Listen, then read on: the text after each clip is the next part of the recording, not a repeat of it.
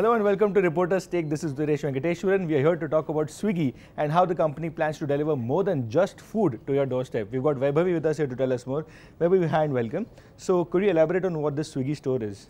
So uh, Swiggy uh, launched Swiggy stores very recently and it aims to delve into the uh, hyper-local delivery market through this. Right. And it's going to be delivering not just food but uh, small household items like groceries or flowers or medicines, even food for your pet or whatever you can Right. think of. Right. And uh, this is going to be starting soon and they're only starting it on a small level as of now just to test out the So, are they choosing any particular city for this? yeah, so they're going to be uh, doing this uh, in Gurugram first, and they've already partnered with 3,500 stores there.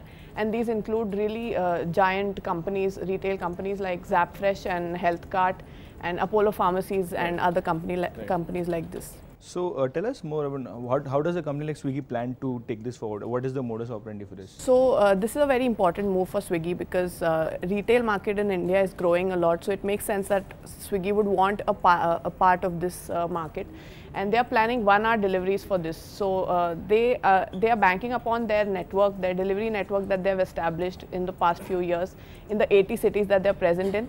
But this also means that this puts them in direct competition with uh, big companies like Grofers and Big Basket. Right. So uh, it's going to be tough, but they have been able to do uh, revolutionize the food uh, delivery market before. So they are hoping to do the same here. So, that's how they plan to do it. But what does it mean for brand Swiggy, something like this? So uh, Swiggy uh, would uh, analysts have said that this would be a very good move for Swiggy. It may take some time to establish itself in the market, especially with so much uh, competition, Right. but it will benefit them in the long run. Right then, so let's hope those one hour delivery is probably one of the key takeaways of the USP that Swiggy might have on. Thank you for those insights, Vaibhavi. With that, it's a wrap on this edition of Reporters Take. For more such news and views, stay logged on to moneycontrol.com. Thanks for watching.